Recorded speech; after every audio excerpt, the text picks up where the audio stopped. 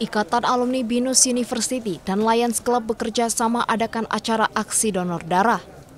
Acara ini diselenggarakan di MGK Kemayoran, Sabtu 13 November 2021. Aksi donor darah ini diadakan sebagai acara ulang tahun Binus University ke-40 dan ulang tahun Lions Club.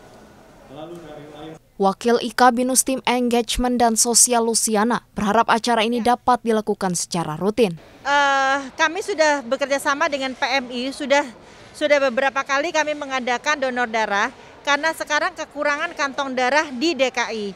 Jadi kami kami dengan adanya kekurangan kantong darah ini makanya kami berupaya untuk menggalang teman-teman supaya uh, bisa berdonor darah.